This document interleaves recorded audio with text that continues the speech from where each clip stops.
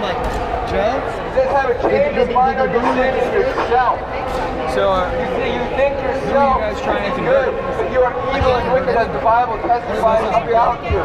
It says your heart is evil and wicked. It says that your good works are filthy rags. You have no justification before God. You only have condemnation before a holy God.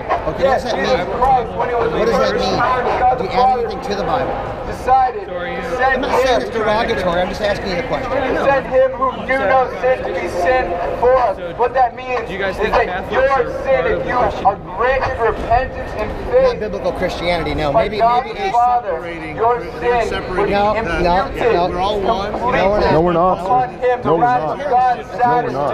satisfied. But you run to your, No. your mass every Sunday. It's terrible in your worldview, but that your worldview's wrong because you add to the Bible. I can't. Because you add the scripture.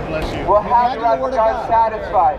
But if you realize can't do that anything in in remembrance for sin that. you're continually running back. Mindlessly hurling up a prayer to a woman who can't hear you.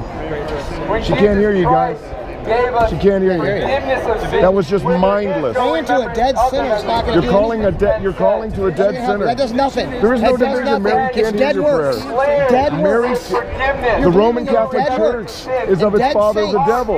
Your covenant. Wow. The response to truth is to chant to But if Mary. you run back to the mass, you're declaring that you're not in the new covenant.